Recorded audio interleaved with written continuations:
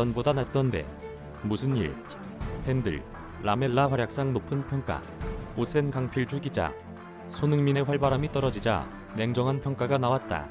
손흥민은 2일 영국 런던의 토트넘 홋스퍼 스타디움에서 열린 브라이튼 앤 호브 알비온과 2020의 2021 잉글리시 프리미어리그 7라운드 홈 경기에 선발 출전했다.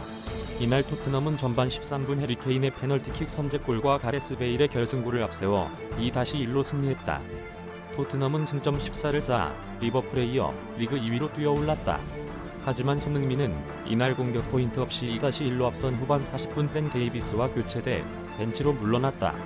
경기 초반 존재감을 보였던 손흥민이었지만 중반 이후 상대 수비진들의 집중 견제에 다소 지친 모습이었다. 팬들도 이날 손흥민보다는 함께 출전했던 에릭 라멜라에게 좀 더 많은 점수를 줬다. 축구 전문 통계 사이트 후스코어드닷컴은 손흥민에게 평점 6.5를 부여한 반면 라멜라에게는 6.6을 줬다. 영국 매체 더프트룸은 한 팬이 이 경기에서는 라멜라가 손흥민보다 잘했다.